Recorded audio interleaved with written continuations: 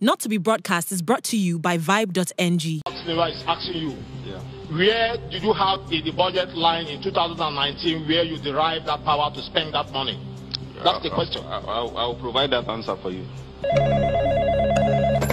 Do I ask for peace between you and my enemies? If I do, they will think I'm scared. Continue. Things say they're wise. So, there has been quite some drama within the Niger Delta Development Commission, NDDC, and the plot keeps thickening. So, here's an abridged summary of the saga. President Buhari in October 2019 ordered the creation of an interim management committee to check the NDDC following very many complaints about the commission's operations and credibility. He also ordered that a forensic audit be carried out on the commission. It is said that over $40 billion, I'm going to repeat that figure, $40 billion has passed through the NDDC since its inception in the year 2000, with very, very little to show for it. Apparently, the first managing director of the interim managing committee, Dr. Joi Nunieh, accused the Minister of the Niger Delta Affairs, Godswill Akpabio, of trying to rope her into some shady dealings as soon as she was appointed into office.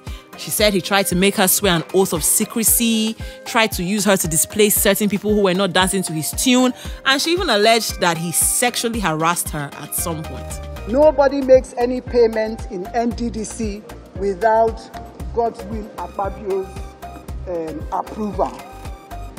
When we first came to NDDC, on the day of going for the inauguration, he told me in the car that, Madam MD, if you don't do what I say, the same pen with which I used to sign your letter, it will be the same pen that I will use to remove you. He came to Port Harcourt two days after the inauguration. He said the first thing I should do is to make sure I change the dollars. I should remove Mr. Kaltungo from being legal and send him on compulsory retirement, that we cannot have a northerner be the head of the legal team, of the legal unit. I said, I can't do that. I do not have the powers. He said I should remove all the other directors that refused to take his instruction during the time of Mrs. Um, Akwagaga. That was the predecessor before I came. So he came also with a draft, which I've submitted with a draft um, letter that I should write and put it on my letterhead implicating Senator Nwaoboshi for collecting contracts in NDDC. I told him that I will not, I'm a lawyer, and that whoever alleges must prove. And guess what? Akpabio never signs any documents. He will always refuse to sign, but he will tell you to go and commit the fraud. For instance, he told me to go and raise a memo and give an emergency contract for flood victims. He wanted me to take an oath. He has denied that, but I want to say today, he told me up to three times until we had a reconciliation meeting at the villa in the house of Mr. Sarki Abba, who is the SA to the president on domestics. In that meeting was Alhaji Mekano. He said the only condition that oath. And I will never take the oath from him. So he said he was going to remove me. In February 2020, the president reshuffled the IMC cabinet, replacing Joi Nunieh with Professor Keme Bradikumo Daniel Ponde, who is the talk of the internet right now following a dramatic display at the panel that was set up to probe the mismanagement of the commission. So while the panel was ongoing, Pondei slowly became unresponsive, which attracted the attention of, you know, some of the people present and they started trying to resuscitate him. But did he really faint or was he just trying to stall the procedure? Because the House of Reps Speaker Gbajabiamila has now exempted him from appearing before the committee, saying that his written response will be used instead.